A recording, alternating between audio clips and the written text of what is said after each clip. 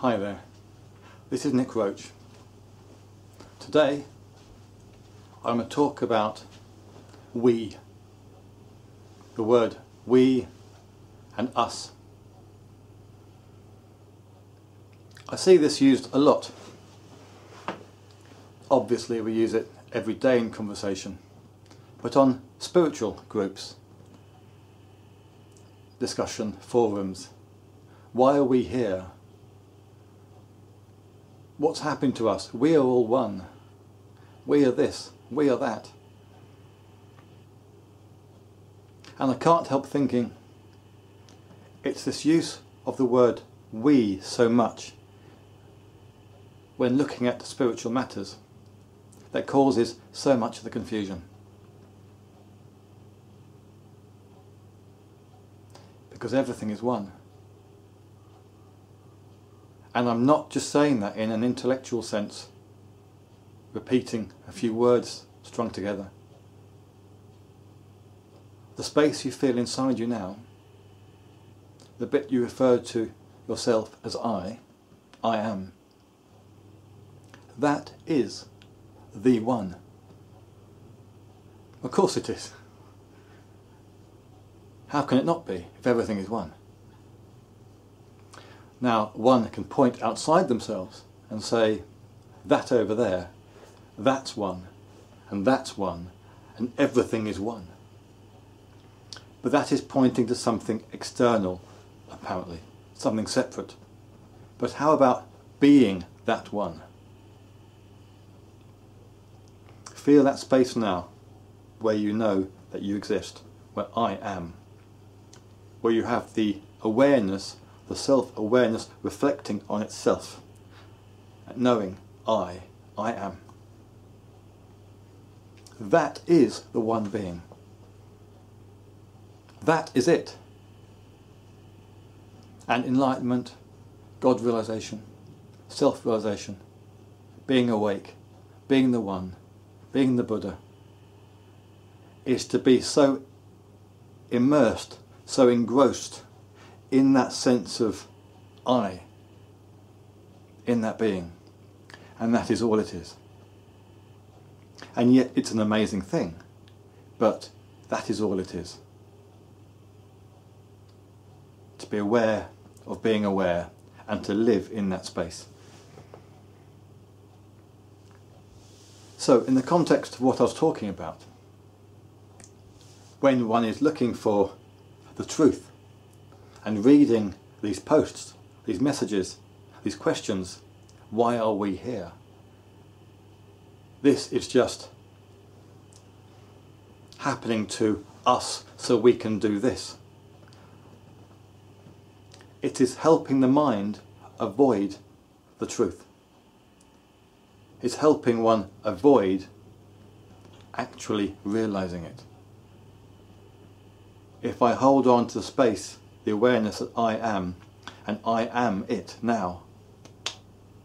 I'm living it. I am being it. I am the one. Can you feel that? The space inside you where you're aware that you exist. That is the one, the only one. The idea that it's not the only one, there's another one somewhere else, means there are two. And we've already said everything is one. So you are it. You have to be it. To say everything is one, but you're not it, is ridiculous. And the mind will go, yeah, but, yeah, yeah, yeah. No. What you're feeling now, that space inside you, the knowledge I exist, I am. That is what this whole thing's about. Becoming that, living that, being that.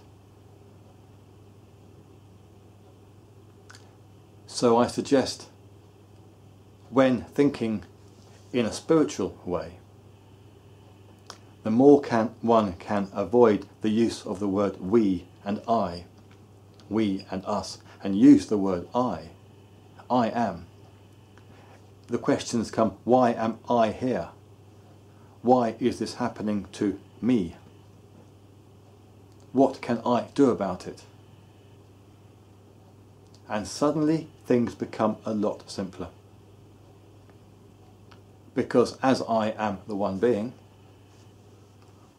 the I you're feeling inside your body there, that one I, as I am the one being, I'm responsible for everything that ever happened in my life and ever will happen and everything that is happening right now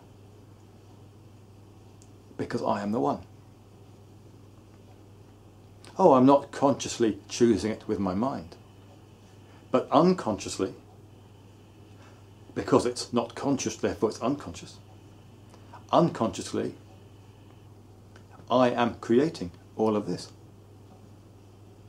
And that's why we have the term God realization. Because I realize the space I am is creating everything that exists. So I say I am God realized. And in the same way, I realize this is in effect then a dream, if one uses that term. Not everyone likes it in this context, but I certainly do. If one likens this place to a dream, and I am dreaming, I am the one being, and here I am, and my unconscious is creating this. So I'm in effect walking around in my own mind. You've heard the term universal mind, cosmic consciousness. Here we are. All these words all come together. So I'm in a dream here, and I learn that the more I can be conscious and aware, I am dissolving the separation, dissolving the dream, and we covered that in the last talk earlier. So it's all about I. I am. I'm aware. I'm awake. I am this. But you don't need to add any of the other words. It's purely I am and maybe only I, without even being anything, just I. Thank you.